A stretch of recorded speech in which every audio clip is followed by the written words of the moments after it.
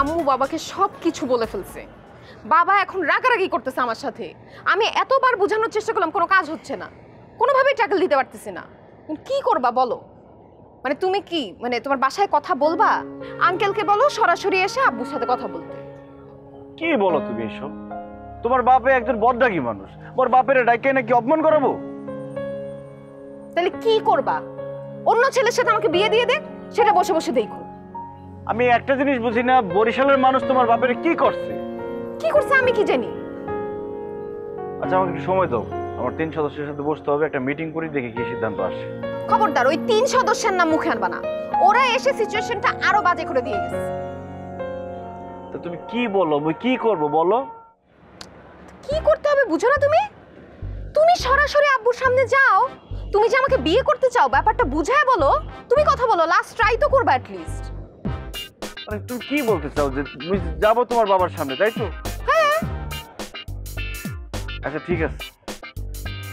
যেমন কবে যাবা? যেমন কালকে পরশু যেমন কোনো। যা করার করো। তাড়াতাড়ি করো নাইলে আবার অন্য ছেলের সাথে কিন্তু আমার বিয়ে দিয়ে দিবে।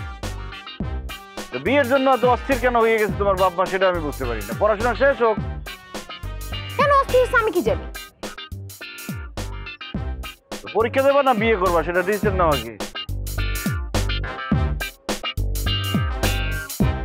ও তুমি কি করছ তুমি জানো তুমি মোর সর্বনাশ করে দিছো একসেন মোর আশা ভরসা ভালোবাসা সব ভাঙে দিছো তুমি।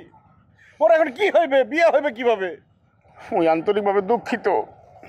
তো বরিশাল কীভাবে বাইর হয়ে যায়? এই আপনি কি শিখাইছেন? আমি তো শিখাইছি। এই তুই কথা কফিল লিগা কথা বললেই তোরা এখন কি করব তুই জানো? তোরে যদি পাট্টামে দশতলা থেকে নিচে ফালাইয়া হাতি বাস্তা থেকে তোকে মূর্খ বানাই দিতাম। আবার টাকাও কি লিখে তুই হুম? তুই উল্লা পাল্লা কথা শিখেছো কে গুরুজনের সাথে একদম আবার কথা বলো তুই। তুই একটা নিষ্পাপ মামা বরিশাল বিবেকে জাতীয় মামা। তোর কারণে সেই জায়গাতে গিয়ে বকা শুনছে। এই তোমরা রাখো দি। এমনি মাথা গরম আছে কি কোনো সলিউশন থাকলে বলো। মোর বাইকনার বিয়েটা করাইতে হইবে। না মামা কি বলমু? অবশ্যই বলমু। দোস্ত তো প্রেম করছে ফাইসে গেছে। ওই জায়গা থেকে উদ্ধার করার দায়িত্ব মোর। শোনো দোস্ত শোনো তুমি ও তানিয়ার আব্বু তো বরিশালের মানুষ পছন্দ করেন না হ্যাঁ? এখন তানিয়ার আব্বু যেন বরিশালের মানুষকে পছন্দ করে আমরা সেই ধরনের কর্মকাণ্ড কি গড়াই দিইবে? সেটা কি করতে হইবে? ওকে বলতে আছি শোনো প্রথম বড় সে যেসব জায়গায় যায় কাজের ক্ষেত্রে সে জায়গায় বরিশাল মানুষ ফিট করিয়া দিন এদিক ধরো তুমি